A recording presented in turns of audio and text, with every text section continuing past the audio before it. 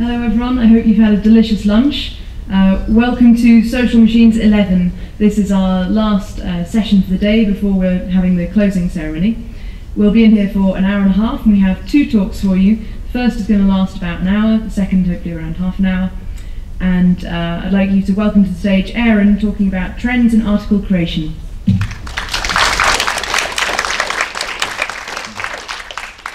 Thank you very much, and thanks for being here. Um, uh, so, I will be talking about article creation today, but before I get started, I, I need to thank my collaborators because they couldn't be at Wikimania. Um, Jodi Schneider and Bluma Gelley, uh, they helped or they contributed to a substantial amount to the insights that I'm going to be talking to you about today. And I also need to thank uh, uh, Sony who contributed a whole bunch to my methods for data collection and the, the growth team, Matthew Flaschen and Steven Walling for making space for me to do this work on their team.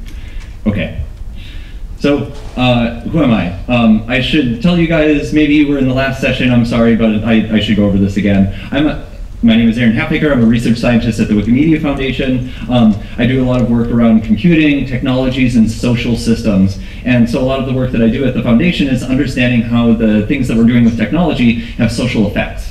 Um, I'm also a volunteer. A lot of my work as a volunteer is in developing tools for Wikipedians. I actually don't edit that much. I wish I had the time for it, but I really do like building tools. And so that's a lot of my work that I do as a volunteer. Um, so today, I'm going to talk to you about four things. First, I'm going to give you some background into the article creation workflow. Uh, who here has created an article in Wikipedia?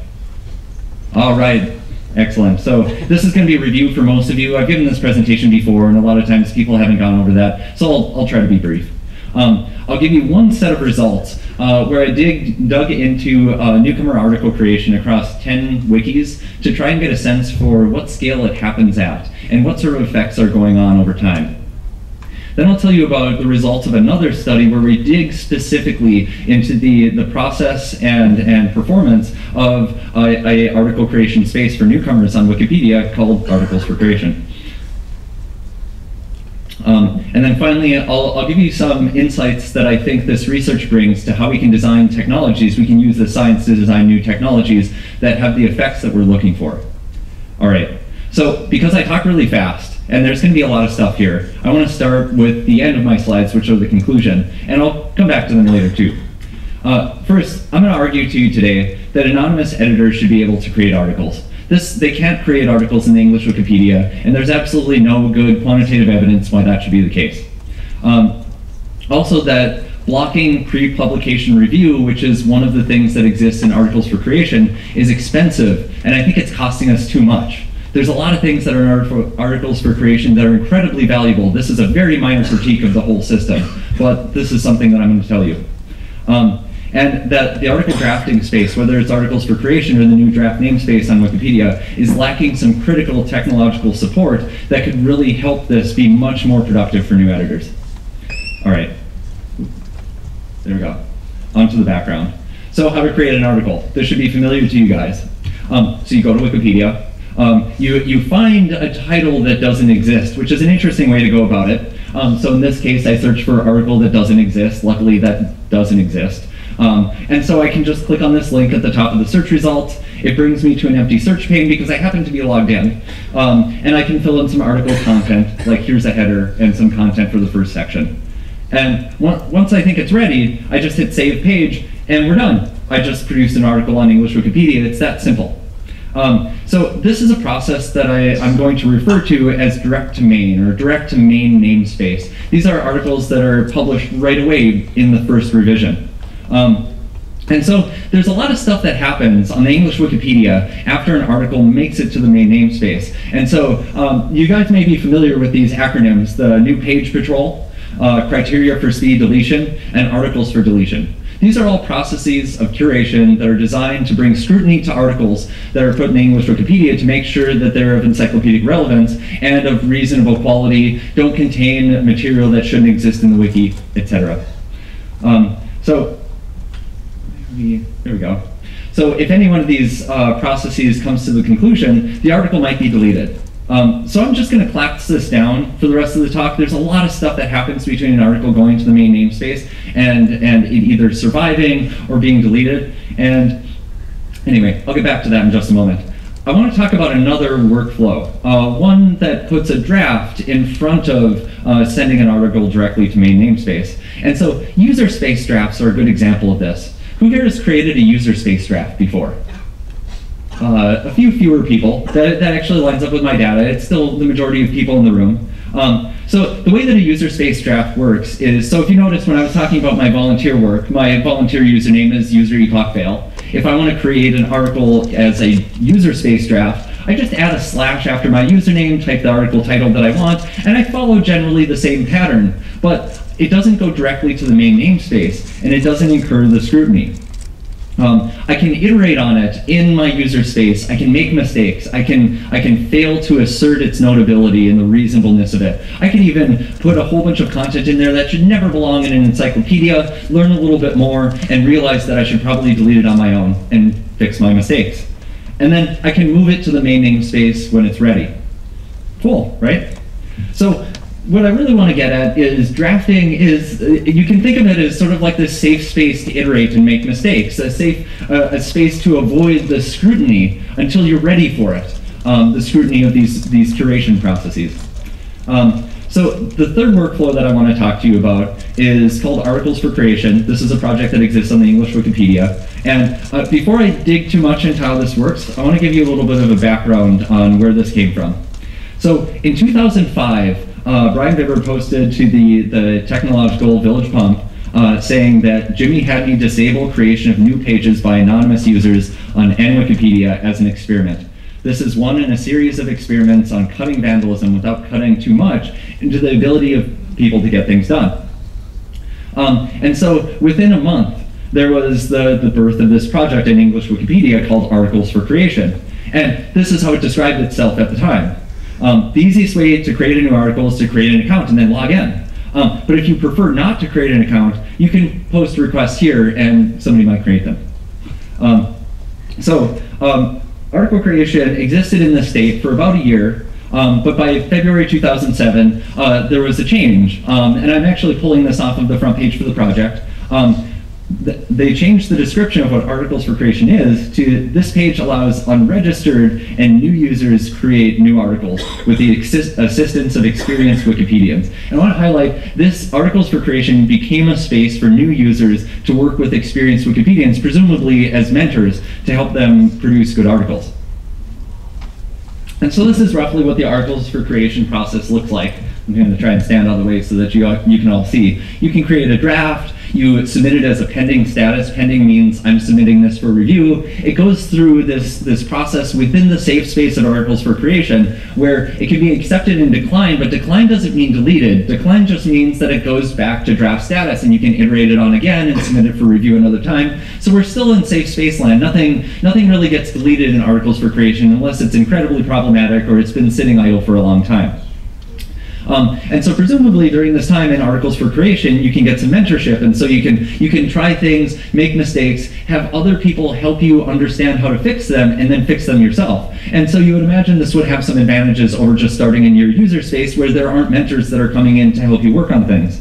Um, and so, like I said, the scrutiny comes afterwards, and so you get to avoid it, you know, until you're ready, until Articles for Creation thinks that you're ready. Um, so there's these three workflows: direct to main, user space draft, which is a safe space, and articles for creation, which has formalized mentorship. Okay, on to the actual first study that I ran on top of this stuff. So there were three questions that I really wanted to address to get a sense for how article creation worked in Wikipedia.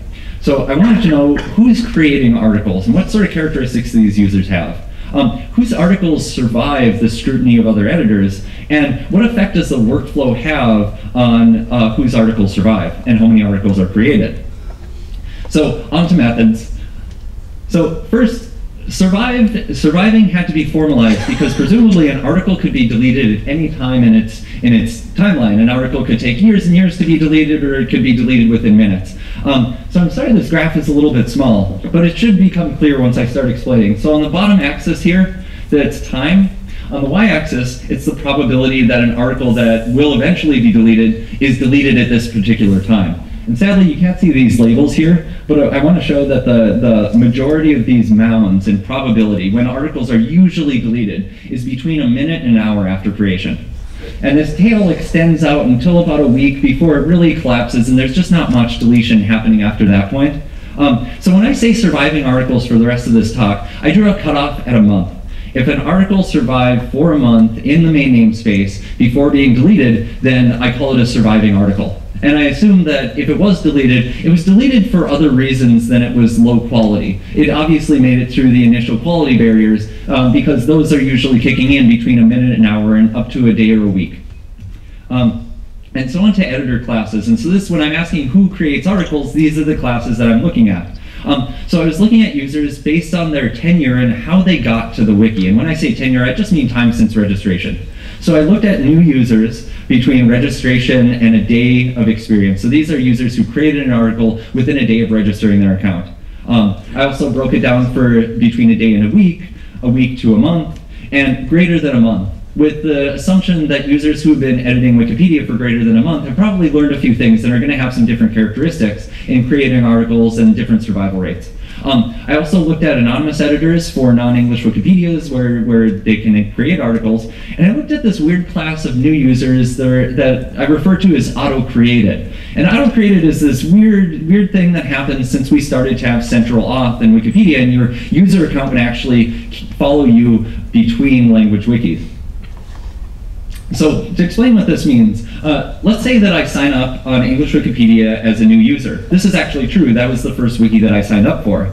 And the next wiki that I went to was German Wikipedia because I was reading a research paper about it and I wanted to go check it out. I actually did this before Central Auth existed, but let's say that I did it after Central Auth existed. I would be a new user on English Wikipedia, but my account on German Wikipedia would be auto-created for me when I just logged into the page. And this is saved in the database, and there's a timestamp for when I did that and all that sort of stuff. But the crucial thing that I want to talk to you about is I wasn't really a new editor on German Wikipedia. I knew something about Wikipedia before I got there. And so the same thing happened when I went to Commons Next. So I want to get this point that auto-created means that you were a new user somewhere else, and you just happened to show up on this wiki recently. Okay. So the workflow is examined. Um, I already talked to you about these three different workflows, the direct main, user space, and articles for creation. I just want to show you where I was able to perform these analyses. So at the foundation, at the time that I performed this analysis, we had specific analytics databases for English and German Wikipedia, but we didn't have it for the rest of the wikis that I wanted to look at. And because of that, I couldn't track moving of pages in those other wikis in a reasonable way, so I could really only look at direct to main articles in, in all the wikis that were in English and German. So because I could look at page moves in English and German, I could look at the user space draft workflow. And of course, uh, as far as I know anyway, Articles for Creation is an English Wikipedia only project. So that was the only wiki that I could take a look at it in. Okay. Oh, and I forgot, I should mention these, these wikis are the top 10 by the number of articles as listed on the MediaWiki.org site.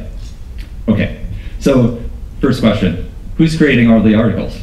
So I'm, I'm breaking out just two of the wikis here. We're going to get to a big graph later, but I want to talk about some parts of this first. So I just took English and German Wikipedia, and just because they were on the left side of my huge graph.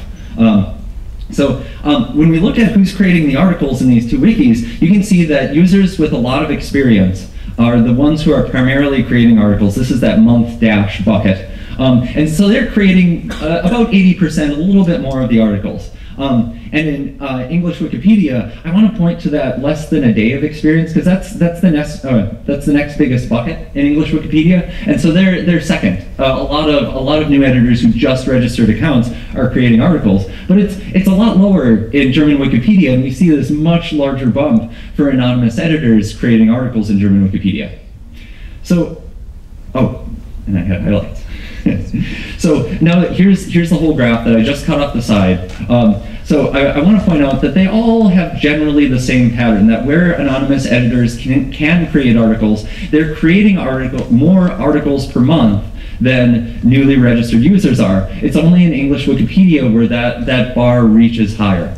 Um, and you can tell too that where anonymous users create articles, they're they're taking a lot of that work from experienced editors. They're just creating they're they're that proportion dies down for for um, experienced editors. So they're creating them at a pretty massive scale. Um, so there's one thing that I want to point out here with Italian Wikipedia. Uh, this is going to be a running theme in me studying wikis that speak languages that I don't understand. Um, a lot of anonymous editors create articles in Italian Wikipedia. They almost caught up to the experienced registered editors, and I have no idea why that's the case. And so, so this is the first time that I'm going to do this, which is, whoops, uh, invite uh, Italian Wikipedians from the audience to to maybe raise questions at the end of this, or or if if you can't get a question in, come talk to me afterwards and help me understand what the heck is going on there. Um, and I also wanted to point out Chinese Wikipedia, where there is there is almost no anonymous editors creating articles at all. It's almost all experienced registered editors. And again, I'm not quite sure what's going on there. Those two are kind of the outliers. So um, to go back to my question, who's creating all the articles? Well, it's mostly experienced Wikipedians. On the lower bound, it was 55% in Italian Wikipedia, and on the upper bound, it's 85% in English Wikipedia. Um, the second class is anons, and of course, as, as I said, that's not true in English Wikipedia, they're not creating articles. And, and it's about 5 to 15% newcomers, depending on the wiki that you look at. And so it's mostly experienced editors, there's a lot of anons, and, and newcomers are a pretty close class. Um, and the newest of newcomers by that. So the next question that I want to talk about is whose articles survive. Um, so again, I'm pulling out English and German Wikipedia. Um, the y-axis here is the, the proportion of articles that are created that survive for that month-long period. Um, and so we can see a couple patterns that, that jump out immediately when we look at this. The first is that when I look at registered users by the amount of time since they registered their account, we see the exact effect that we'd expect that if you create an article in your first day of editing Wikipedia, you have a pretty low likelihood of that article surviving the scrutiny of other editors. Um, but as you gain more experience, the probability that your article is going to be kept increases. Um, okay, there's another thing which is this, and, and I promise you, this was very surprising to me. I thought that this would go the other direction. It looks like where anonymous editors can create articles in German Wikipedia, their articles are more likely to survive than the newest of newcomers who are creating this massive amount of articles. So now I want to jump back to, uh, so this, this is a topic that's been brought up in English Wikipedia a lot of times. There's been RFCs to turn on anonymous article creation again. And so I just pulled out some RFC comments um, uh, that are against this maneuver. And so um, here's one. Uh, sticking your finger into an electric shredder is not a sensible experiment. We know exactly what the result will be, and confirming the prediction of turning on anonymous editing again will be painful. And, and do you think the deletion backlogs are bad now? Just wait until IP creation is open. It's like opening a big can of worms. But it doesn't look like that. Um, and this is true for almost all the wikis that I looked at. Um, I'm going to pull out a couple of examples here, but I just want to note, like each one of the wikis that I highlighted here, the survival rate of anonymous editor-created articles is dramatically higher. It's more than twice as high in all of the wikis where anonymous editors can create articles. Now, there's one notable exception, uh, Polish Wikipedia. This is another WAT. I don't know what's going on here. Polish Wikipedians, please come talk to me. Uh, I would really like to understand this. Um, and also Japanese Wikipedia. Japanese Wikipedia, everybody's articles survive. Um, and I'm not really sure what's going on there.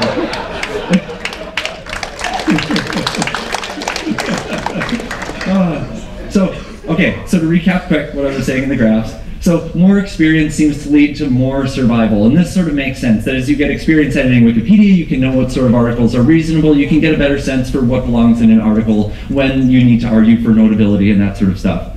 Um, that Anons seem to be better than the newest of newcomers. That it, it, seems like we should probably be letting them create articles. They would create a ton of articles that would be less of a burden on the people who are managing these backlogs. And, and apparently all Japanese editors create articles that survive. Okay, third question. What effect does the workflow have on this? And so like I was saying earlier, I can only look at English and German Wikipedia, and for the articles for creation, I can only look at English. Okay, so let's look at German Wikipedia first. So this graph is a little bit crazy. Let me explain what's going on here. I like to look at trends over time, and that's the, the x-axis here, because I think that looking at trends over time and correlating it to what's happening in the wiki right now can really give us insights into why we are where we are. And so that's why I really wanted to pull it out here and show you what this, this sort of trend looks like. So you can see there's these original namespaces. Zero corresponds to direct to main article creations, and uh, user drafts start in namespace two. And so these are these are highlighted with different colors, the lines that that correspond to the survival proportion of these articles. And so there, there's a couple things that I want to point out here that will make these trends clear.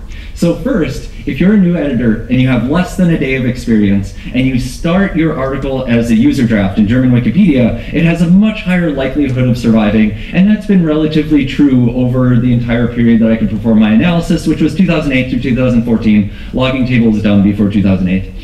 Um, so, but if you have more than a day of experience and you start your article creation in user draft space, then you actually have a lower likelihood of your article surviving.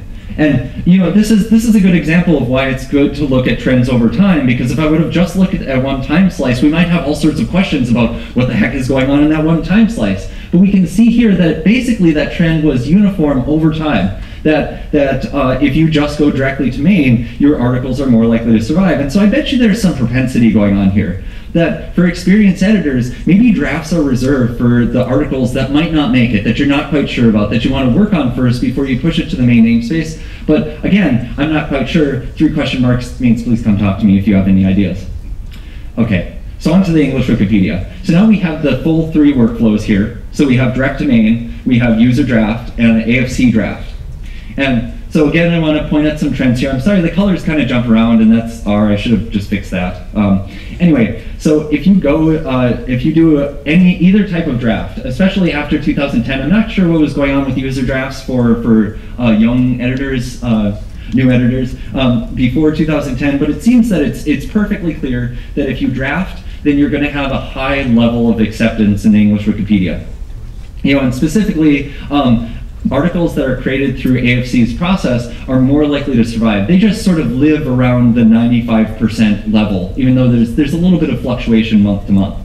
Um, and except for the most experienced editors, we again see this trend where articles that are created in user draft is consistently less likely to survive than articles that are created in main namespace.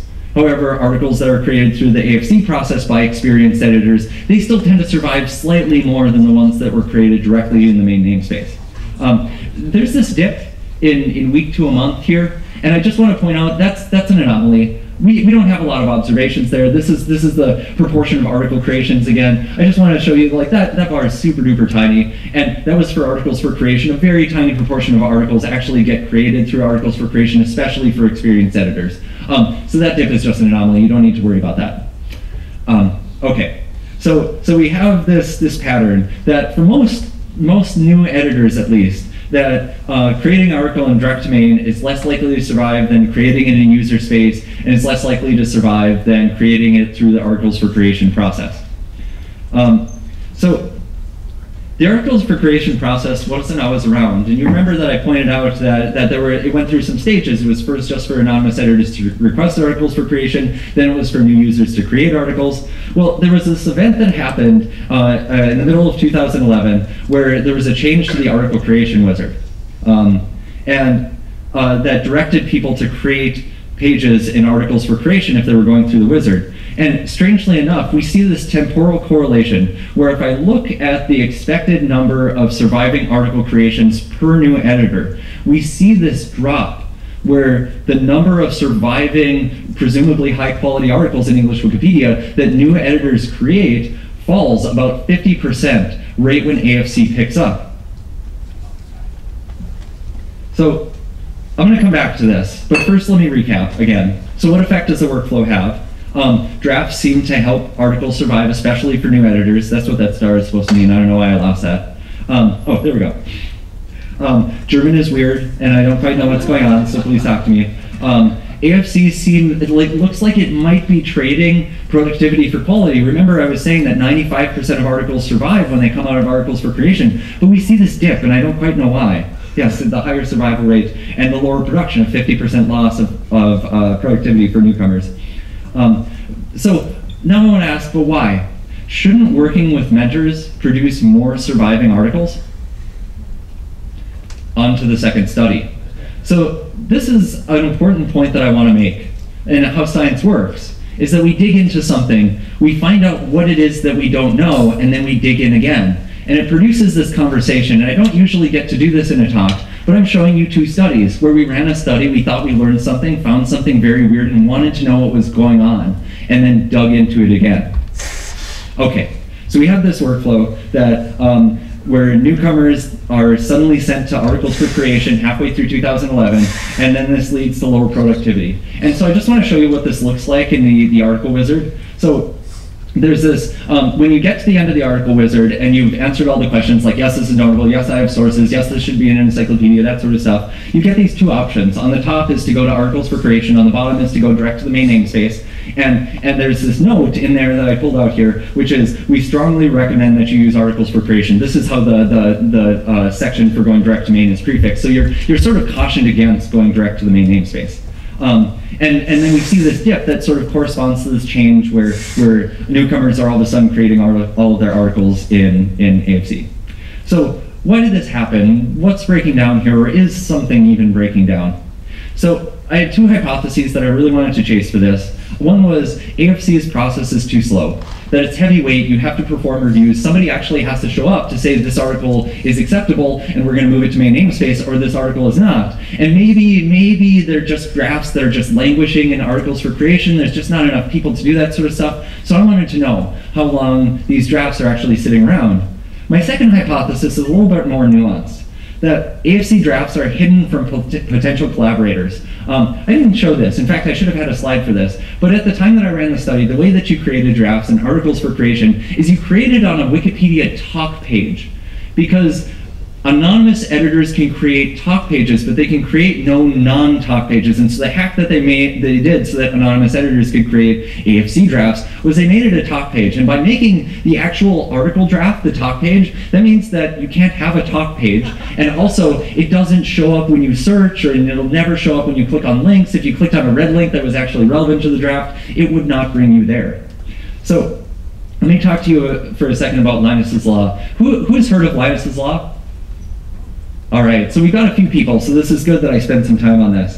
So Linus's Law is about open source software engineering. Um, the idea is that given enough eyeballs, all bugs are shallow. That given enough people who see an incomplete, or this is, this is applying it to Wikipedia, that given enough people who see an incomplete article, all potential contributions to that article will be easy for somebody. Like somebody will be the subject matter expert that says, I know what belongs in this section, or I know how to format this correctly, or something like that. And by having these articles be visible, you're basically inviting collaborators, and it's going to be easy work for them. Whereas if you just had one person writing the article, they might get to subject areas where they're less expert and they have to do a ton of reading, and that's a lot more work. This corresponds very closely to software engineering, where some people are better at solving some bugs than others. Um, so the, the insight of this is that visibility is critical to open collaboration processes.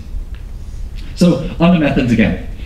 So I used AFC templates to track these status changes of going from draft status to pending to, to accepted and declined. All AFC pages have this AFC submission template on them, and I can pull out this first parameter to, to get at what stage an article is in at, a, at any particular time. And so when that, that parameter is T, it's draft, I have no idea why. We don't need to talk about that. I just accept it. Um, when you delete it, it's pending. Um, when you when you set it to A, it's accepted, and when you set it to D, it's deleted. And so what I could do is I could process the history of these articles that went through articles for creation and find out when they moved through different parts of the process and when reviews happened. So I use the MySQL database. This is available in LabsDB, so you can go and replicate my study. Actually, I have my code online, so I'll point you to that later. Um, and I, I, parse these templates using a combination of the uh, XML dumps, and I, I, specifically asked for special permissions just for the case of the study so that I could gather deleted pages from the API and so I could see when they changed their status too. So this analysis all includes pages that have been deleted. Um, and I also spent a lot of time, and this is actually most of my collaborators spending this time, we had lots of discussions reading through draft histories and discussions to try and get a sense for how people experienced AFC, what sort of things were going on in AFC, and, and what sort of frustrations people were having. Okay, results. One hypothesis at a time. First hypothesis, AFC's process is too slow. Um, so I specifically wanted to look at this uh, pending to accepted or declined status because this is the user who created the draft is saying, I'm ready for review. I want to know how long does it take to actually get a review. And so we're looking at another one of these density plots here where I have time on the x-axis and the probability of something happening, in this case the review, on the y-axis. And we can see that most of the density, you're probably going to get a review within the hour. And, and if you don't get it within the hour, there's another peak that's between a day and a week. So here's my hypothesis about what's going on here, which is that if you if you submit a draft for review, if somebody's around and they're usually around, then you're going to get it reviewed really fast. And if, if they're not around for review, it might take a week for somebody to come in, maybe next weekend, maybe the day of the week that somebody goes in to do reviews, but it's probably going to get done there, and it's very, very unlikely that it's going to take more than a month, which is the last tick on the right-hand side there. So 66.5% of reviews happen within 24 hours. This is, this is pretty fast. It's about as fast as you could expect an asynchronous system to work. Um, so the next thing that I wanted to ask is maybe there's a process breakdown and newcomers are just taking forever to submit their drafts to review and so they're languishing to wait to be submitted. Um, so same sort of pattern here where the majority of submissions actually happen within a minute.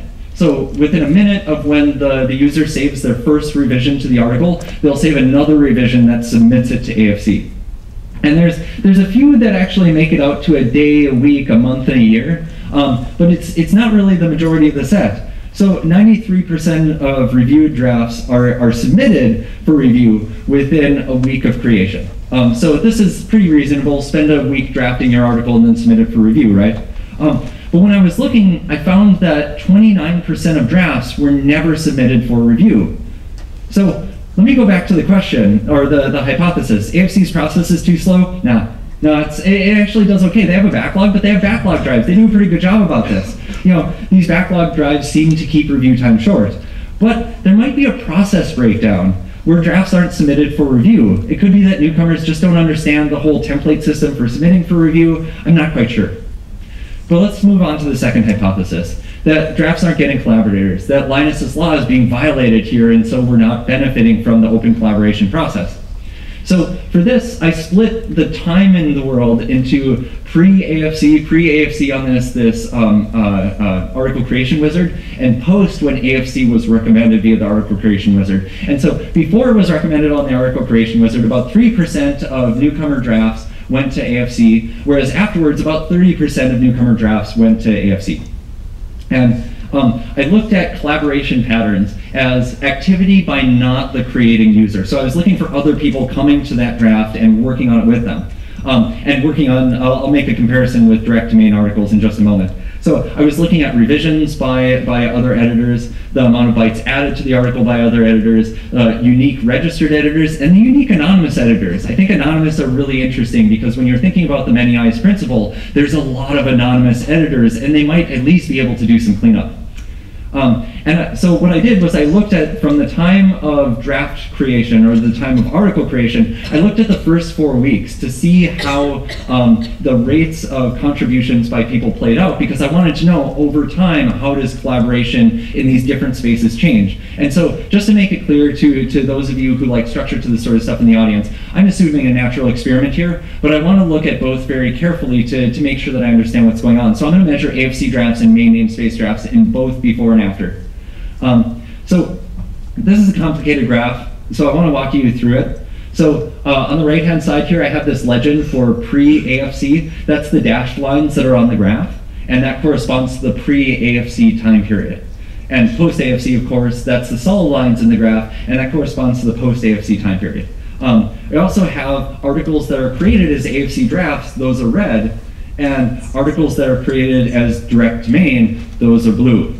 And on the, the y-axis of this graph, I have my collaboration measured. On the x-axis, I have time. And so we get to see how the difference in collaboration activities changes over time. And so, to hop back just a second, we can see this trend where if you go to AFC, it looks like, at least for the second, third, and fourth week, it's clear you're going to getting less revisions from other editors on your draft. Whereas if you go to direct to main, you're going to get more. But I want to zoom in quick to that upper left side so that we can explore those couple data points a little bit more clearly.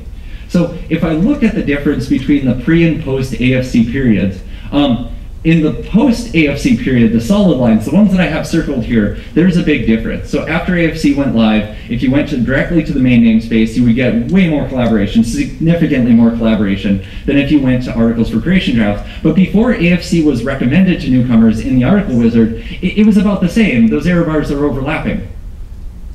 So um, that's just one of the metrics. I want to, darn it, this screen is so small. I wish I could zoom in on this. But Oh, good. I actually highlighted them, so it's going to do most of the work for me. So when I look at the number of unique editors working on the article, I see a similar pattern. So this is unique other registered editors who are collaborating with the, the draft creator on the article. Um, and for all four weeks, you're going to see less collaboration from other people, less edits from other registered editors on your draft than if you went directly to the main namespace. And it's the same story if I look at anonymous editors, but maybe even more so we can really see the gap between uh, the blue lines and the red lines in that case. Oh, there we go, highlighting again. So back to the back to the hypothesis that Linus's law is being violated here. It, it looks like it's supported. AFC drafts see less collaboration than direct main namespace created articles. And the qualitative work suggests that the onus is on the creator alone to make productive changes to the article. That usually what you get from somebody who's mentoring or reviewing you in AFC is suggestions on what, what you might do to the article when they're reviewing it as declined or accepted or whatever. Um, so they leave it up to the creating, the draft creator to actually make these changes. Um, so in summary, uh, the hypothesis that AFC's review process is too slow, that's unsupported, but we see this process breakdown. And I, I, think it might be because the template process for submitting for review, it might just be too hard. It might just be a lot to ask of new editors. And we definitely see less collaboration that, that there's just less activity in these articles, and it, it, makes sense because you can't find them. If you if you create a direct to main article from a red link, you're going to have a ton of people that are now browsing to that article, that new draft or new direct to main namespace article, because it's visible and it's open to the rest of the wiki. So now into part four, which is how I think that the science and theory that we're building about what sort of patterns are happening can lead to changes in what we do with technology. So first of all, anons seem to be better than we thought. Um, so maybe it's time to revisit article creation again uh, for anonymous editors. Um, in the draft namespace on English Wikipedia, anonymous editors can create articles, but they can't publish. And that might be okay. I haven't been able to rerun this analysis after the draft namespace was put in place. Um, either way, we need to understand anonymous editors better. Our intuitions here seem to be failing us. This is not sticking our hand in a blender. There's something else going on here. Anons are not equal to vandals, and they're clearly having a higher survival rate for their newly created articles than the newest of newbies who we do let create articles. All right, and now AFC seems to trade productivity for quality. Um, and I, I, think that there's some insights that we can get from this English Wikipedia essay. It's probably the most cited essay. It may as well be a guideline, which is called the Bold Revert Discuss Cycle. And I won't bore you with the details. The, generally, the idea is that you should boldly do what you want to do um, because it's probably right. If somebody disagrees, they'll revert you or undo what it is that you did, and then you should have a discussion about it. Because most of the time, you did the thing that, that, that was actually right. That if you let people do what they want, they tend to do the right thing, and then you don't have to have process around them doing the right thing. That maybe we can have less process if we only address them when they've done the wrong thing. Um, so so this insight of Bold Revert Discuss that most people will do the right thing if you let them, I think that this is a strong, a strong argument for not having a pre-publication review process. That, that I think that mentorship is good. I think a lot of the things that are going on in AFC are really, really good. But having a threshold that people have to wait for, that people have to engage in, it, it, it might be the wrong way to approach this. And, and for workflow designers and developers um, that, that might be working on tool labs or even at the foundation, that I argue that this is the technological support we need. That if we're going to have people creating articles as drafts in the draft namespace, we need visibility. And we ought to not block publication. We ought to not make people wait because they're going to do good work. Thank you.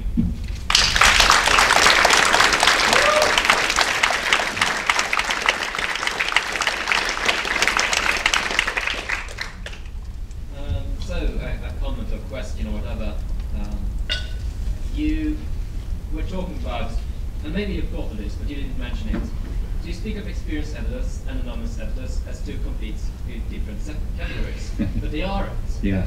You've got people who keep editing as anonymous editors, and you've got people who have usernames, but for some reason they forgot to log in, or they can't be bothered to log in, and so on. So it's, it would have been very surprising Mm -hmm. if new users would have had um, a higher amount of kept articles. Mhm. And have you looked at this? Have you? What's your thought on this? So one of the one of the difficulties that we have. So I, I really appreciate that you brought this up because I think you're absolutely right. All of the analysis that I've ever done of the behavior of anonymous editors seems to suggest this direction that the stepping stone hypothesis of anonymous editing is just something that you do before you register, uh, it doesn't seem to really hold. Uh, anonymous editors are doing a lot of, like qualitative, they, they seem to be doing the kind of behavior that new users, newly registered users don't tend to do. Um, in the, the previous presentation that Steven gave about our work with anonymous editors, he, he presented one of our results that if you edit anonymously right before you register, then you're more likely to do productive work when you register. I don't think that's because uh, editing anonymously beforehand is an important stepping stone. I think that's because that's evidence that you've been working for an anonymous editor for a while before you decided to get an account. And I think it's it's clear in some of the analyses that we're doing um, where we're actually tracking anonymous editors beyond the IP address. We're very careful about this. I could go on, I could give a completely separate presentation about dealing with the ethical concerns about tracking people between being logged in and logged out. Um, but there we see that it's about 4% of our active editors on English Wikipedia are anonymous. And so they're doing they're doing five edits or more a month to articles in English Wikipedia. And so I think it's a substantial portion of our population, and they might just not want a social identity, they, but they do want to stick around and do good work while they're here. So the slides where you um, presented the sort of before and after with the um, Yeah. paired lines.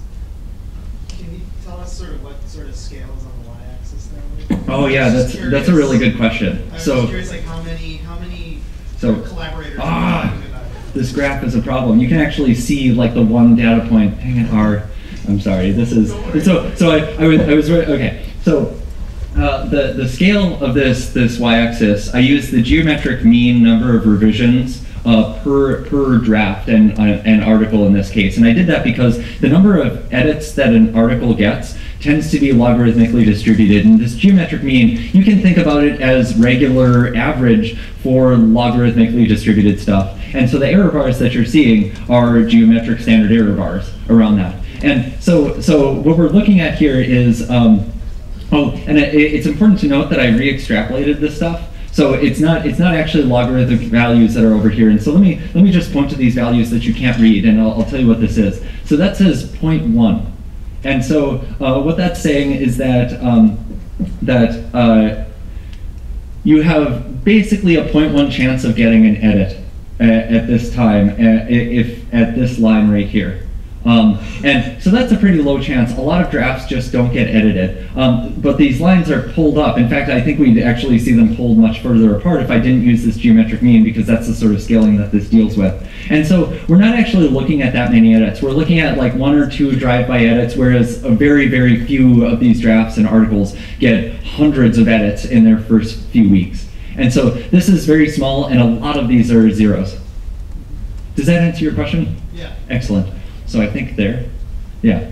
Um, you know, just uh, a, a comment. I it occurred to me that uh, you, when you were looking at some of the anomalous readings of some of the other language Wikipedias, Mhm. um, I don't know if you had already taken some of these cultural and other factors into account. You know, for instance, with the Japanese Wikipedia and the higher rate of article creation and retention from anonymous editors, I believe that's because a great deal of the Japanese, you know, a much larger percentage of the Japanese editor population following Japanese internet culture and, you know, remains anonymous and do not open accounts.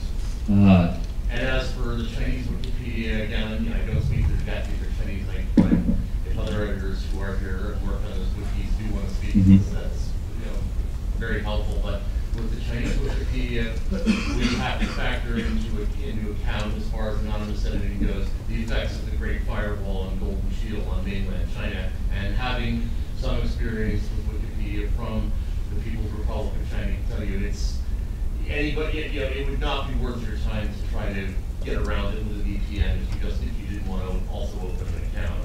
yeah. And I think that depresses the you know rate of anonymous article creation from in uh, Chinese almost Mhm. zero. Yeah, that's so. I, I, I should have brought up. I actually I, I heard that thing about Japanese Wikipedia before. That there's a lot of pop culture on there, and I think that that's actually an interesting insight. That some some wikis welcome a broader range of contributions. I'd really love to talk to somebody who's a Japanese Wikipedia editor about how that's going for the wiki.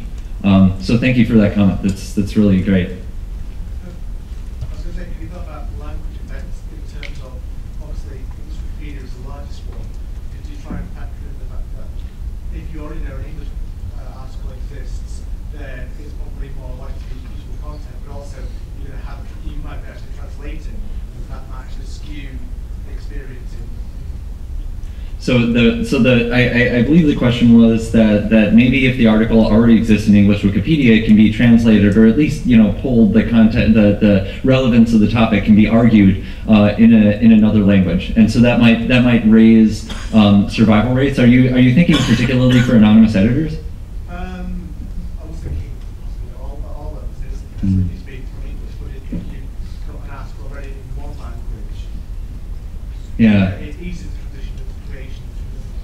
So I, I- think that's a really interesting hypothesis. Um, uh, it's it's definitely something that, that we, we, we didn't really dig into, but it, it seems likely. The the reason that I might not think that that's that's playing out that much in the data is that we see generally the same sort of level of survival rates across wikis. There were only a couple examples that I had pulled out where it was really strange, but I actually think that that would be a really interesting way to, to examine cross wiki behavior, and I know that there are some people in this room who might be excited about that. Thank you. Yeah, you're, you're okay. I'm just letting them know they're next. Um, uh, you, you, you the experience, you, you experience, uh, as, more than a month old. Yes. Um, and you said that, that some of those were using the articles for creation process. yeah, yeah. At what point do, do you know at what point does someone stop using the article for creation process? Uh, that's a really good question. Um, I have that. I have the data necessary to answer that question, but I did not look into that. So that's that's something that we could definitely do in a follow-up analysis.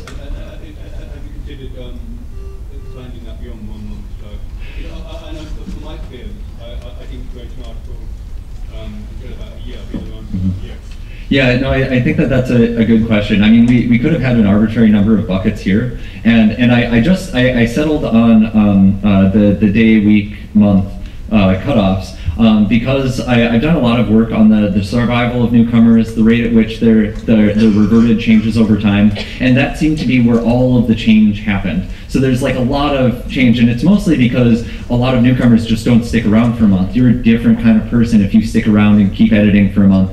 Um, but I, I mean, that's definitely something to look into. I don't think that there would be that much signal there, but honestly, it was pretty arbitrary what I what I chose for this cutoff. I, I didn't dig out further into that. It seemed like we got a lot of signal here and got a lot of understanding from the cutoffs that I chose. We could definitely do that.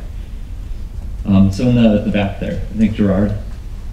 Um, you made a comment about the, uh, for the experienced editors, the drafts, the, ac- the first drafted articles actually being, having a lower rate of being kept than the uh, directing new namespace, uh, main name- namespace edits. Um, I think one, uh, one thing which could explain this is that especially the people who already have the experience of having articles deleted will say, okay, I make a draft first, so it's better when it comes. But of course, whatever the reason is, their previous edits got articles got deleted. So Might so. Yeah. existence. So if, it, if you guys didn't hear that, the idea was that, that maybe maybe user space drafts are created after a, a, a, an attempt to go direct to main already failed. And so that, I, I think that's a really interesting hypothesis. It seems reasonable, and my the way that I measured this was on a per article basis, not on a per user basis. Because of course, like a user could create articles through different workflows, but it, it seems like that would be a good way to, to dig into this that if we could have a sense for what is the same article, you know, just being created again, or if we could have a sense for the workflows that a user generally goes through, we, we could dig into that and find out. I think that's a really keen insight, and thank you. Um, there was another question that was up there. Yes, as an extension to your research, uh, do you envisage analyzing the patterns of articles rejected. So pattern of topic, field, discipline. Is it political science, human rights, and things like that? So I, I, wish that my, my collaborator, uh, Bluma Gelley, was here because she's dug into this before, modeling of the types of articles that tend to be deleted. And I'm sorry to say that I, I, I don't think that I can I can speak to it. I know that the, that she's published some literature and that there's there's more coming out. Um, if you if you catch me afterwards, we, we can go together and we can go take a look at that study real quick. There, there and there. Yeah, I'm just wondering if there's uh, any data on the uh, correlation between uh, new article creation uh, and retention rates and then user retention rates. How, how often, if someone's first article leaves, they just give up completely? So there's a there's a study that Mr. Zeman did in the English Wikipedia where he, he dug specifically into this question. And so of course it's a correlation analysis. So it's hard it's hard to argue causation from it. And I mean really that's that's sort of what I'm showing you here. Even an actual experiment is a correlation analysis. Um, but what he found was that there was there was a high prediction rate that that um, if a newcomer creates an article and that article is deleted, then they're not likely to stick around.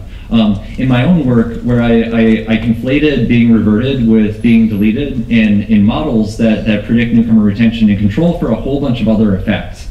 Um, such as uh, the amount of edits that they do in their first edit session after they register their account. That's hugely predictive of retention. When I include that in a model with the, the rate at which things are deleted, it helps me deal with the propensity, like what type of users create articles and that sort of stuff. Anyway, having your article deleted was a really strong effect. So I confirm those results. It looks like there's something going on here where, like a drafting namespace strategy, uh, a space where you can get mentorship and avoid scrutiny until you're ready for it might be a really good idea. Now, we didn't dig into um, whether these were desirable newcomers who were having their article deleted and then leaving. I, I, think that that's, that's a really cool place to dig into and a really cool place to build technologies for. Um, so I think it was there and then there. Yeah, so I am from Polish Wikipedia, so I can help you. Yeah, yeah. We have uh, something like uh, flagged reviews. It's uh, checking reviews or something like this. This is a tool which was put on on a couple of wikis. So we mark edits as a yeah, it's it's the uh, reviewed edits. It has the name of the system. So uh, in our case, when uh, anonymous user edit and create article, usually after this comes some user with more experience. So like person who have more than 500 edits, that's the system settings. Mm -hmm. So maybe this is the reason that why it's in this way. That we always ideal world, where person should fix the broken mm article. But in this case, when he should come and check it, probably that's the reason that why it's so broken on Polish you know, this is, I, I, think this is a really good point. So the idea is that there's, there's a system on, on Polish Wikipedia that, that encourages a review of every single anonymous edit. Is that right? And so an anonymous article creation is an anonymous edit. And so it might just be that the review is incredibly effective on Polish Wikipedia, and so that's why the survival rate is lower. So there, there's a couple reasons why I would suspect that that's not the case. So English Wikipedia has a page creation tool. It has it has robust processes around around articles article creation, and um, we actually see uh, you know lower survival rates um, for articles and more reverts. Um, higher revert rates in English Wikipedia, and that would suggest that that's more restrictive. Of course, we don't have anons for English Wikipedia. I, I, you know, but this is like comparing wikis. This is this is one of the things that can play out in it. So it could just be that no wikis except for, for English and Polish Wikipedia actually check anonymous article page creations. Um, I, am skeptical of that, but that's I, like I said, that's that's the problem with this analysis. You can't just perform this comparison and know for sure, and it might be worth digging into that to make sure that my assertions about anons are accurate. Um, we we do see it play out in the quality of edits generally on English Wikipedia, though. Um, there.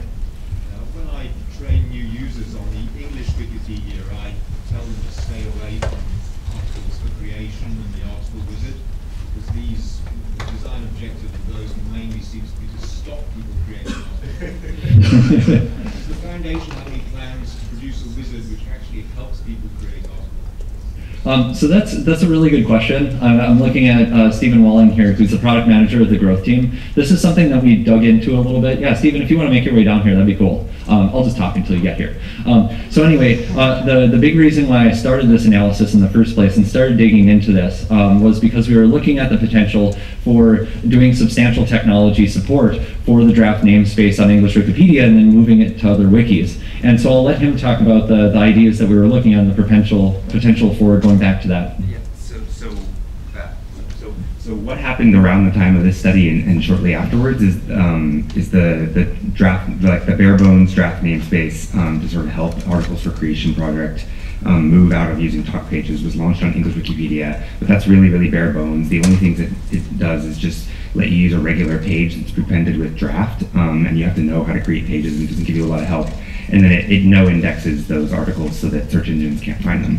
Um, and that's been pretty good, though it's been it's been pretty small. Um, even though it, Articles for Creation Project has uh, switched over to use it entirely. And in the meantime, what we did was start usability testing prototypes of things like a self-publishing tool and review tools and stuff like that for drafts. Um, but ultimately, we didn't go to the phase yet of actually building those products.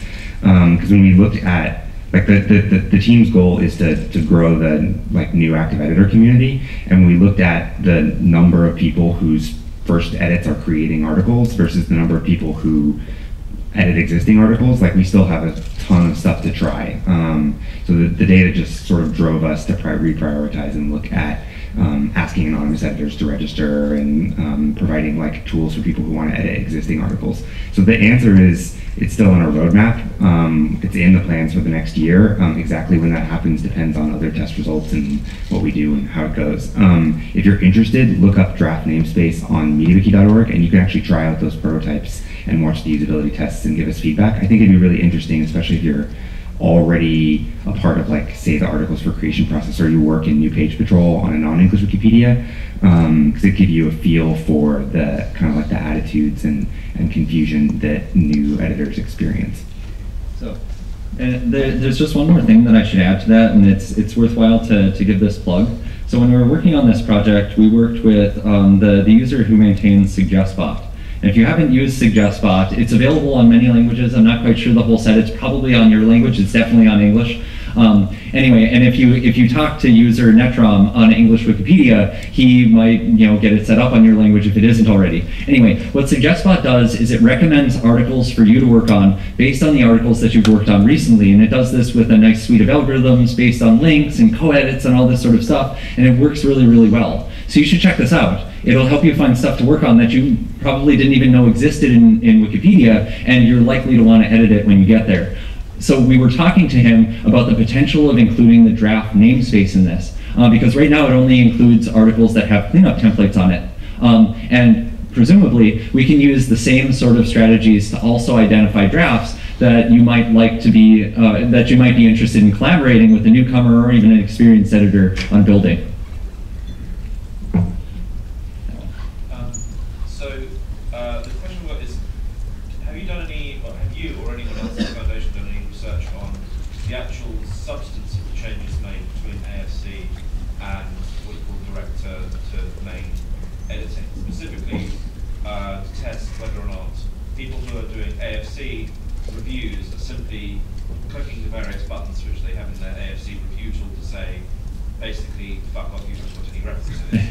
Uh, uh, versus whether they're actually making substantive changes to reformat the article, add references of their own.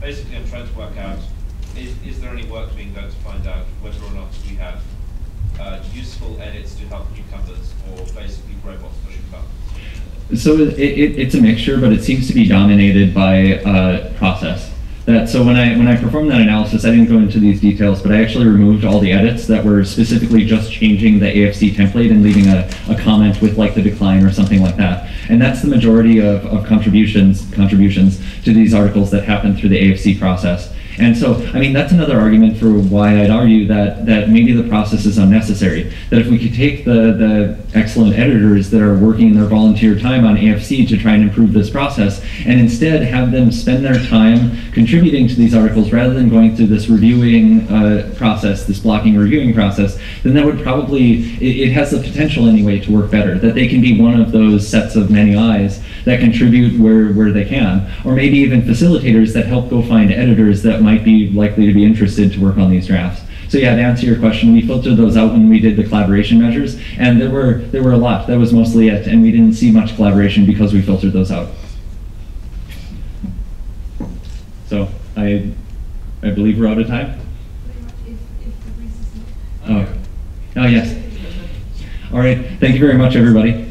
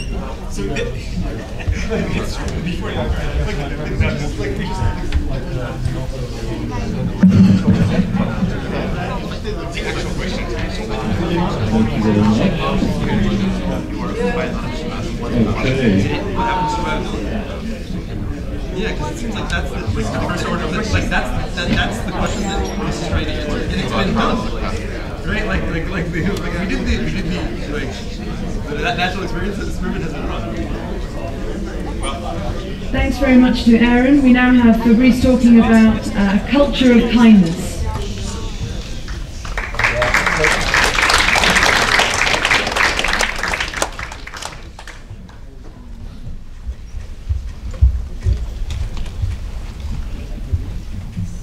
Hi. I hope you're enjoying the conference as much as I am. Yes. Uh, today I'd like to talk about how we grow a culture of kindness um, on our sites. And uh, I'd like to talk about uh, an idea, a hypothesis, uh, which is not necessarily proven, but which I thought might be worth exploring together, uh, that we might be able to improve Wikipedia by being nicer to each other. Um, I don't know if there's data to support it. I'm not a data guy like Aaron is. Um, but I think it's a premise worth exploring. Um, and um, I'll explain why in uh, the next few minutes. Um, I don't know if you've noticed it, but uh, every year at Wikimania, I uh, ask people the burning question, how can we improve Wikipedia? And then they write down their idea on a pad, and then I take their, their photograph. And I get this photograph a lot. Be nice. Group hug from Jean Fred. And then yesterday I asked um, uh, Jimmy Wales, and this was his answers be kind to each other, even to the annoying ones. Um, and it's interesting because just a few hours ago, someone had asked me, Well, I don't want to answer it, but I'd like to have your answer. And I had also come up with be kind as a possible way to improve Wikipedia.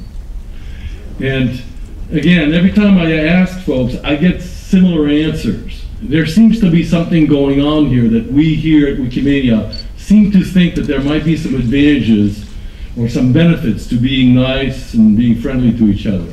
It can't just be some kind of new age revival thing. It's, it just it, it occurs often that people suggest this as a possible solution. Um, why is that? Um, it seems that we face a certain challenge um, that may be due to some cultural issues. I don't know what the root causes are. I'm just noticing that sometimes there's a lack of civility on our pages. that sometimes people are hostile uh, to each other or to newcomers.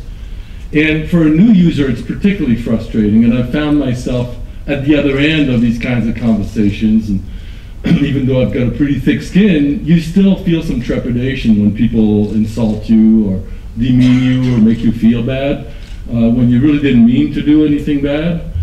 Um, and I know it happens a lot online. You know, there are a lot of trolls online. I think it's the nature of the software environments that we live in that because there's no, you know, face-to-face contact, we have a tendency to demonize the other person. We, we, we can't tell who that person is, so we imagine the worst.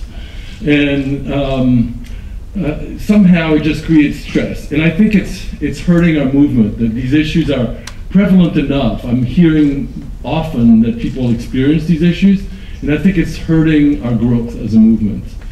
Uh, again, I'd like to talk to Aaron and the researchers to find out whether everything I'm reporting here is in fact confirmed by the data. I don't know if it is. I'm just sharing my observations. Uh, yeah, I suspect that there is some data. I've seen some, but, but, but I'm not very good at this kind of analytics. I'm just more just observing. Um, and um, so I took a vacation earlier this year and I went to Bali. And uh, I, I kept wondering, you know, um, you know, how could we go about learning to be nicer to each other? And the contrast, as I was, you know, meeting these folks in this island, this is really a very interesting culture, the Balinese culture.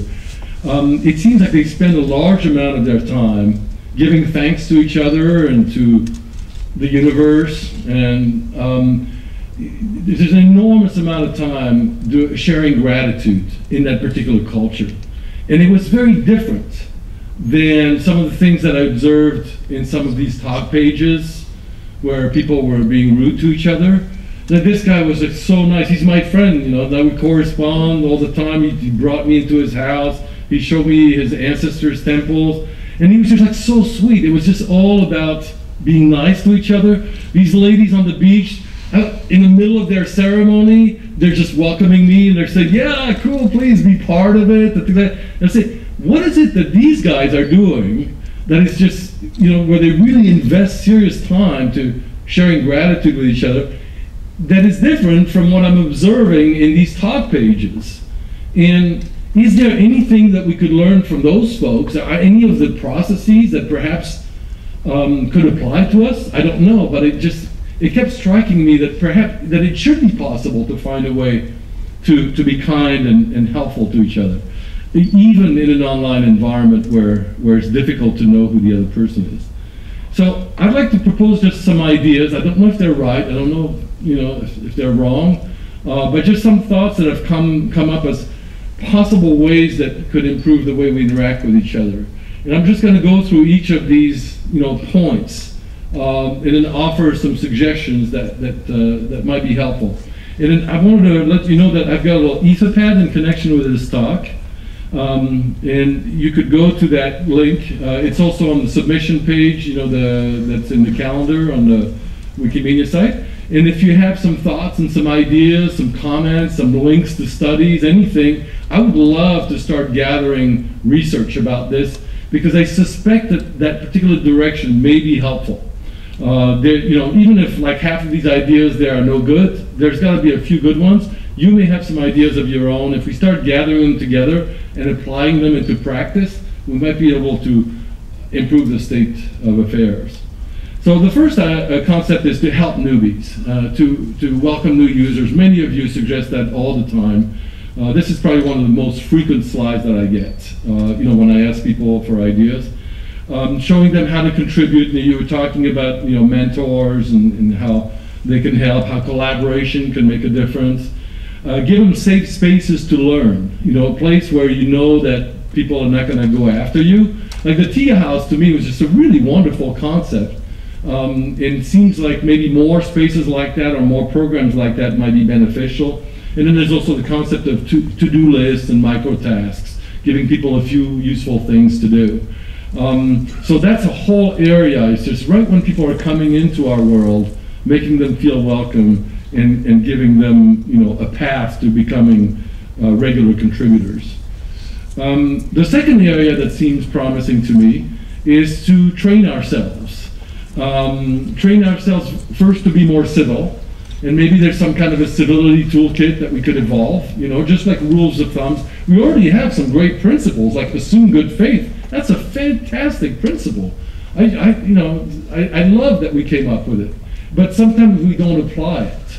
And so how can, you know, is there like some kind of a little checkbox or, you know, a little reminder, you know, when things, we, we, we, when things get stressful and it happens all the time, um, you know, sometimes we forget our principles.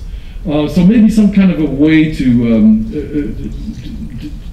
to, somehow just, when, when we fall off, you know, to, to, to come back into to, to, the, the, the, direction that we want to go to. Communications courses, maybe so uh, all of us could learn how to communicate better with each other. Communication is hard.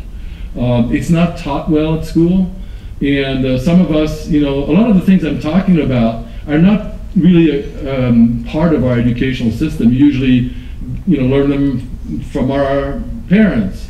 Um, I have to say that I'm only half the man that I would be if it wasn't for my wife. She has taught me so much that I didn't know. Uh, and I'm a lucky guy, you know. Um, I've, I've, got that relationship, and then that my wife was able to help me. You know, sometimes it's your mother, sometimes it's your brother or sister, but sometimes we don't have such a member of our family, so we need to get that information elsewhere. Um, I also think that conflict resolution workshops could be really, really useful since we often get into these tense situations. We don't really know how to react. And conflict resolution is a tough thing to do, and there are facilitators that can help us do that. I took such a course uh, earlier this year. I was just amazed about you know all the things I didn't realize that there are actually ways to diffuse those tensions, uh, but we just need to be taught those things. And then of course mentoring programs, uh, you know mentoring programs for uh, newbies, of course, but also for uh, each other. Like someone who's like really good at diffusing tensions might maybe mentor someone who's not so good, um, one on one, and just over time help them uh, with that particular thing. Uh, the other thing is that it seems like it'd be great if we could reward kindness.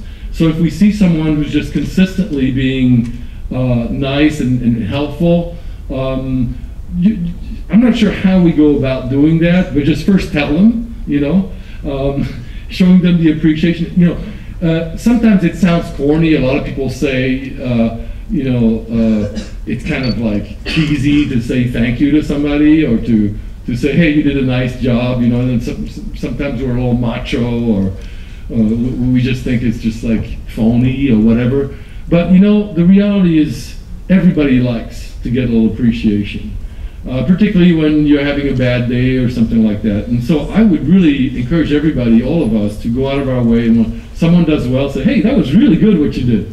You know, even if it takes an extra minute to do it and you're busy, um, maybe have some kind of a celebration, you know, saying, okay, in the past month, the following people did really, really well, and uh, just a round of applause or something.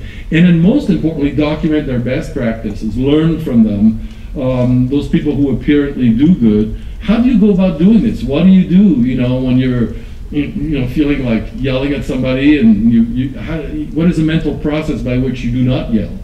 Um, uh, social tools. Okay, so obviously software can help. Software is not the only solution, but there are a few things we can do. And I'd love for all of us to develop more convivial software.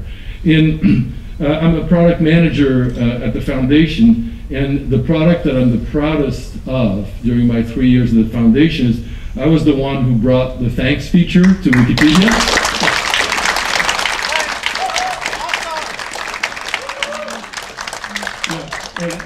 Ryan Kaldari. Ryan Kaldari was the engineer, and the two of us just said, you know, we got to come up with some kind of a way to give positive feedback. We were working on the notifications project, and we were noticing that you know, say, okay, fine, our job is to get notifications when something important happens. And we're saying, well, wait a second, all the notifications we have so far are all negative. We've got undo, we've got revert, we've got, you know, uh, rollback, we've got, it's like, is, isn't there anything positive? No, so no, no, there's, there's, not, there's nothing positive. Wikilove, well, nobody ever uses it. Um, so um, finally we said, well, you know what, we're not supposed to do this. We're supposed to do notifications but let's just do it. You know, how long is it going to take? A week or two? And we went ahead and did thanks with the support of a lot of people, Steven Walling and Brandon and others. Kept saying, hey, do you do you think it'd be all right if we snuck it in? Said, yeah, go for it. Gratitude is cool. So we went ahead and we did it. Now it's there and people are using it. It's fantastic. So let's let's. Let's think of other ways to do it. Uh, there may be some other positive feedback tools that we haven't thought of. Um, civil discussion tools. Now, a lot of people are saying, oh, Flow is this terrible thing. But truth be known, what Flow is trying to do is it's trying to make it easier for people to communicate with, it, with each other. Uh, and yes, it's, an, it's different than talk pages, and you, many of us have become comfortable with the talk pages as they are. But many newbies, they see the talk pages how does that work? You know, like you, you can edit my comments, and it's just so strange the way it's built. The, you know, and, and the rest of the world that we live in, um, it uses different kinds of tools. Um, and some of the tools are good, some of the tools are not so good. But we as a society need better civil discussion tools. I hope Flow can be it. Um, and I hope we can find even more ways to have intelligent discussions and have a, by the way, Flow is going to have a built-in thanks, in case you haven't noticed.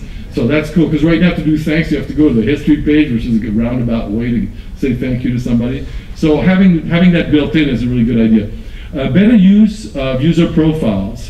So when I go to user profile, I can get a better idea of who the person is. I can get a sense of maybe uh, put a little avatar. Some of, some of us do that naturally, we, we put it anywhere. And I know there's a resistance, you know, yeah, we're not supposed to be Facebook and all that. But you know what? You may hate Facebook, but they did a lot of things right. They have some of the best user interface design shops in the world. They just bought a slew of them, the best design shops they could get. There's a lot of good UI work being done at Facebook, whether or not you like it. And the use of avatar uh, in Facebook and other social media um, uh, networks is actually quite effective. Because when you see the person's face, you realize that that person is a human being just like you, not the demon that you imagine him or her to be. And, um, and, and, and so it humanizes the communication. Once you realize, oh, it's just another person like me, it's not some part of some weird species that's uh, out to get me, it changes your mindset. We're, we're, we're just kind of strange little creatures with our little minds. We, we, we, we invent drama where there is none. We have these little stories running through our heads that make us think, you know, really crazy stuff. And so whenever we can give you visual cues or a little support to think of the other person as being um, someone you want to interact with, it's helpful.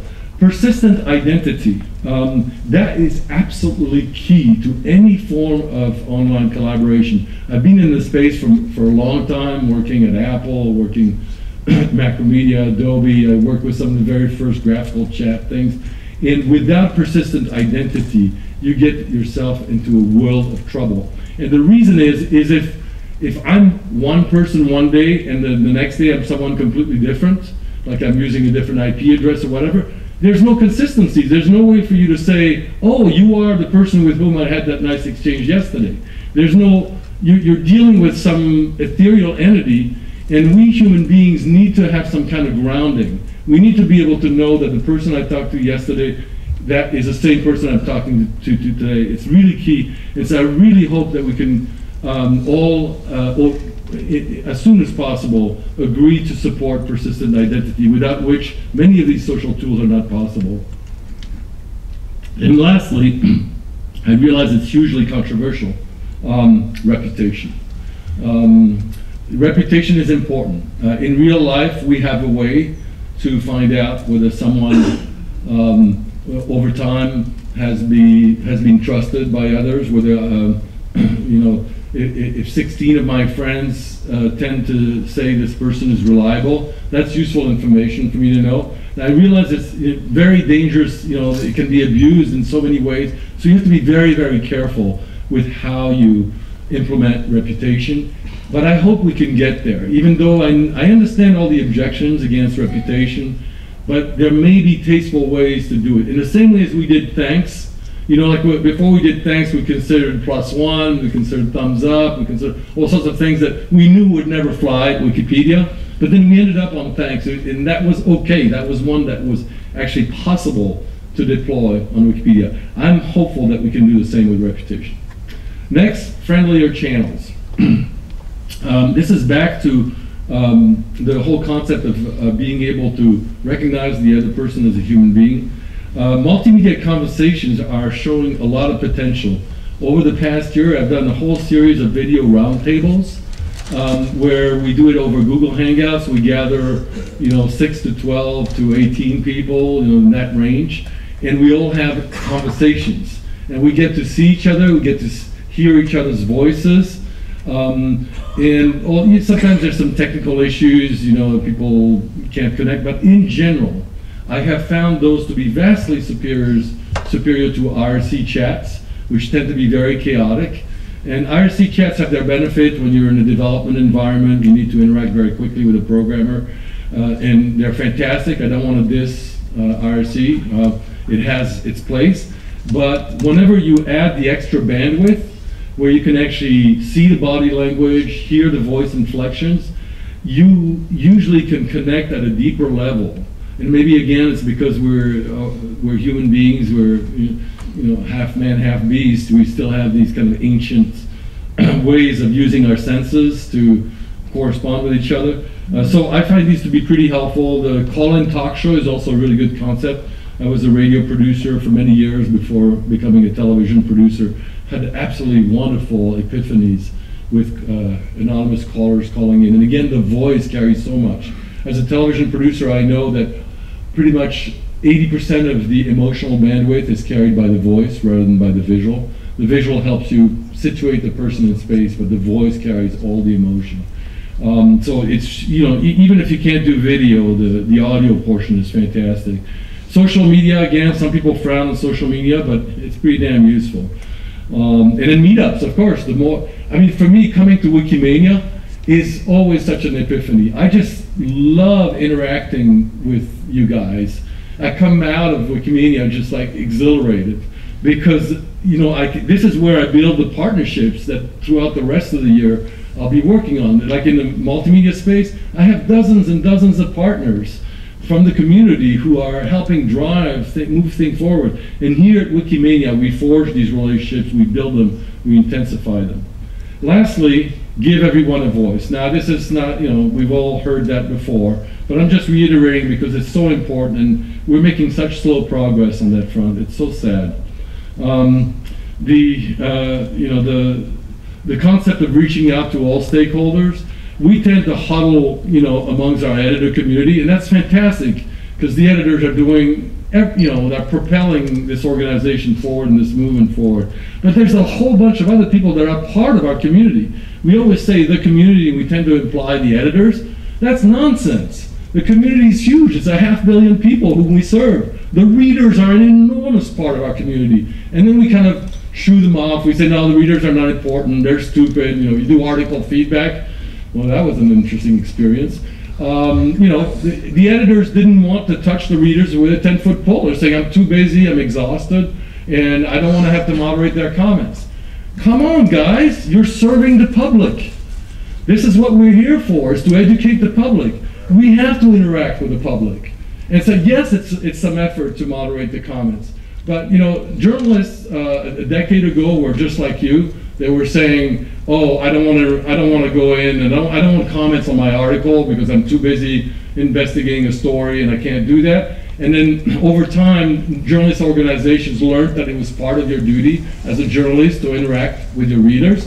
And that yes, it's uncomfortable, and yes, 80% of the stuff is, is, is rubbish. Uh, and that's just the nature of online comments. But we've got to find a way to reach out to our readers. We've got a way to make a connection with them. Their voice is not represented. It's like if, um, you know, in the United States, uh, with 320 million people, um, you, you, know, uh, only like uh, 1 million people uh, could vote or make decisions, and then the other three, 299 million couldn't, ha didn't have a voice at all. That's exactly what we are now with our readers. They have no voice. The talk pages are not a convenient place for readers are scared by the talk page. They're intimidating. They, first, they don't know how to use them, and if they could figure out how to use them, they're afraid they're going to get yelled at, and they will get yelled at. So we got to do something to do this. Make women feel at home. Come on, 13% or whatever the number is? How embarrassing is that? Why are we not welcoming women? Women who are, are the ones who, who know how to um, uh, uh, create social connections and, and, and they should be driving our community. I, I, it just fathoms me that we're not making more progress in making women feel comfortable. And so each of us really should just like at least once a month do something to, to, to help uh, bring women into our community. We need them badly. They could help civilize us, frankly. Um, and to welcome minorities. Of course, the global south is not well represented. You know, this is still, we're, we're much more elitist, elitist than we think we are. Uh, content experts, uh, you know, uh, journalists, like um, I worked in journalism before uh, for about seven years, and I asked my journalist friends, could you come into the Wikipedia movement? And they said, you must be out of your mind. You know, it's just, it's, just, it's not worth it. The, the investment of time and, and having to, to argue. And, and many content experts tell me the same thing. They say, listen, I've written 16 books on this topic. I'm the content expert. But if I do an edit and then some kid reverts it like five minutes later, um, and so we tend to reward tenacity over expertise. Um, we, we don't like experts, and so we say, well, because I don't like experts, I don't care that you've written the 16 books. I'm just going to get let the 16 year old kid just keep reverting you, and then that, that's it. We need to do something about it.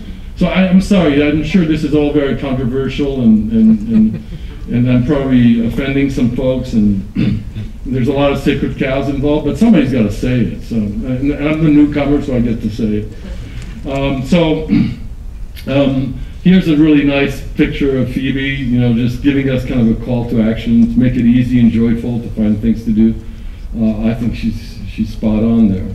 So my question to you, and I realize we're out of time, but uh, maybe if you could go into the Etherpad, or if we could talk, we talk in your community, ask the question, what are some of the tools and practices that we can develop to support a culture of kindness? And then, and then um, for all of us, you know, every day when we wake up, you know, if uh, if I'm an editor and some new new user just came in and did some stupid edits, be kind. Uh, if I'm the guy who was just reverted and I'm feeling really pissed off that my edit was reverted, be kind. Uh, if you're uh, if you're a, a, user and a developer just you know created a feature that you don't like and you hate it, be kind. Uh, if you're a developer and you're pissed off that you know your new feature has not been adopted, be kind. All of us, you know, just use kindness as, as, as, as a fundamental part of our way of interacting with each other. And my bet is that it will make things better. And then Aaron can tell us in a year or two whether in fact that's true. But uh, uh, that's basically my encouragement to each and every one of us. And, uh, and I hope this, uh, this was helpful for you. And, and um, thank you. Namaste.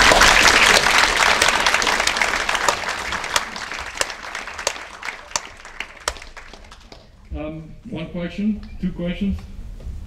Over there? Uh, thanks for the great talk. There's one bit that uh, made me worry, and that's about avatars. Avatars, and we yeah. all have yeah. prejudices and stereotypes about, say, what women are interested or capable of, or different ages and ethnicities and so on. Even people with you know, opinions will have, have prejudices activated by seeing something. You don't have to use a photo yourself. You can use a, a, a comic book uh, icon or you know what, what, an image that represents who you think you are. So uh, an avatar doesn't have to be your mugshot. Yeah, yeah, exactly. But it but it help it still humanizes the communication because now I recognize you as the friendly koala bear. Yeah. yeah. Yes. Yes. Good for you. Oh,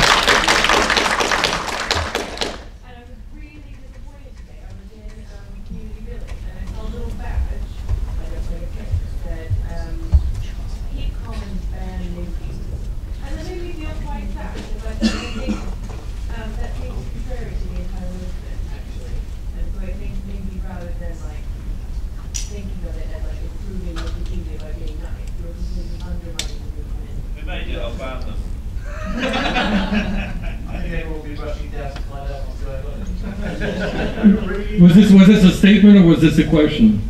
No, she was just a comment. Okay, I great. appreciate what you're doing, but I think that Yeah. But the alternative completely undermines Fair enough.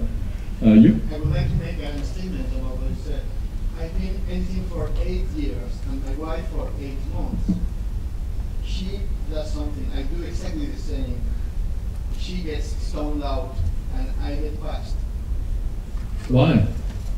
because I'm senior. Oh, because people know you and they don't want to mess with you.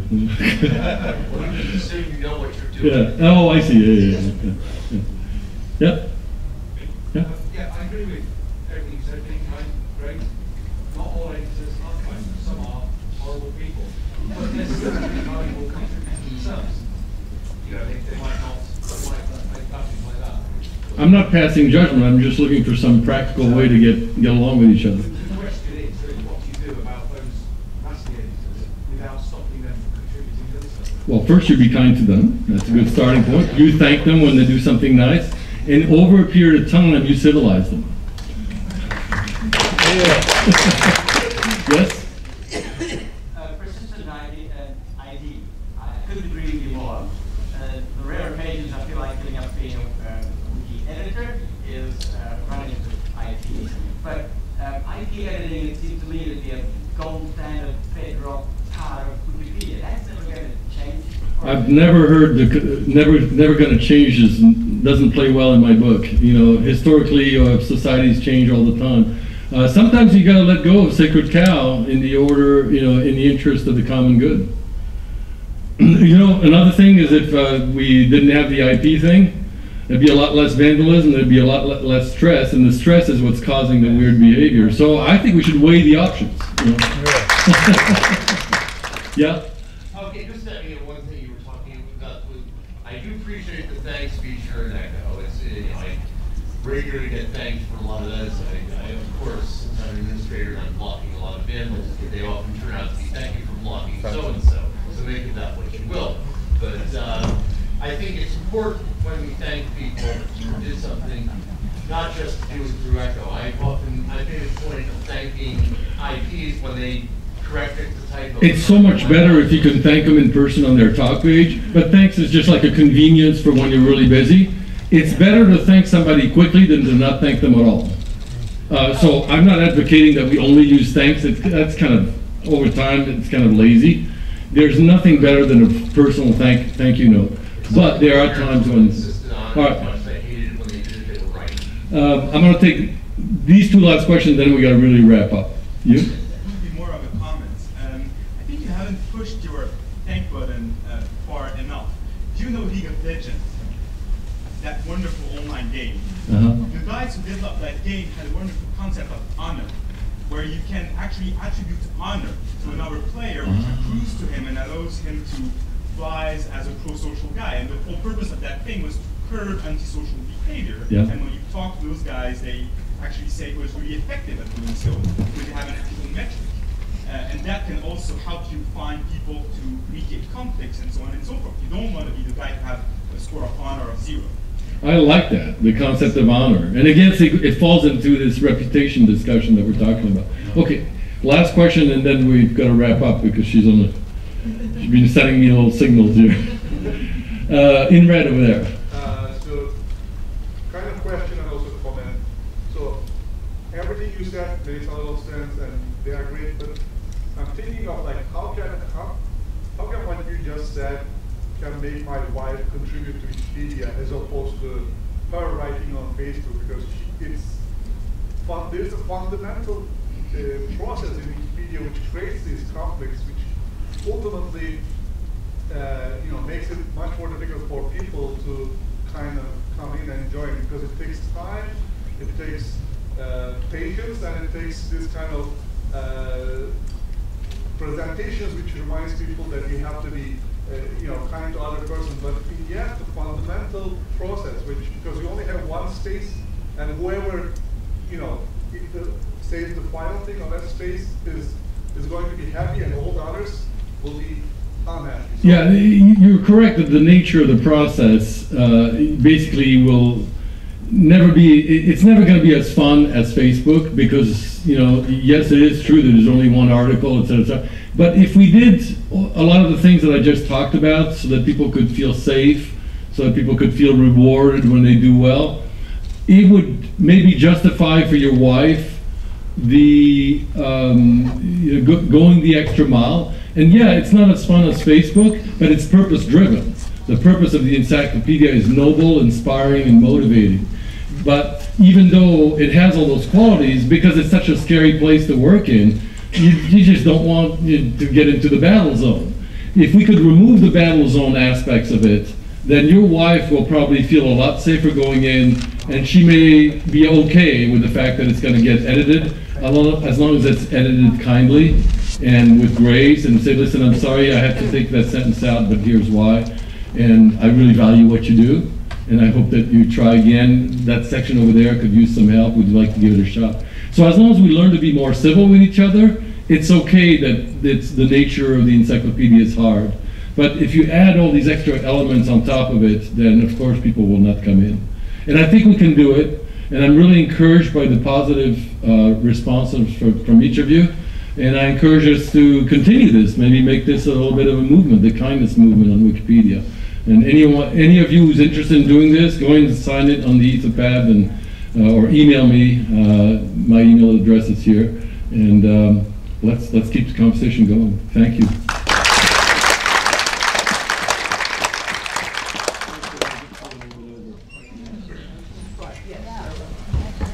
Thank you everyone. There's a group photo at Lakeside now if you want to make that, your way down there. And the closing ceremony will be beginning at half past four. Uh, thanks to all our speakers, our tech support people, our social media people, and the Barbican. Have a lovely evening, everyone.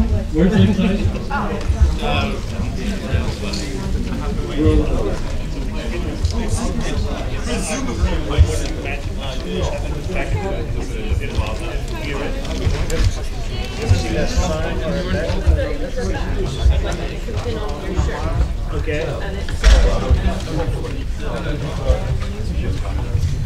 Helpful teamwork, friendly, honorary, how Yeah, yeah, we should get our photos.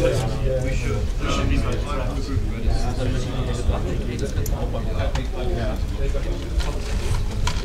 Yeah, yeah, right. Oh, good. And we. How are you? Yeah. Oh, hi Diana, how are you? Oh, great, wonderful. Thank you, thank you. Well, let's let's let's put our resources together, see what we can do to make it happen very quickly. We, we have a, hi there. Thank you. Yes. Well, maybe we could trade a card. Could we, uh, have another card?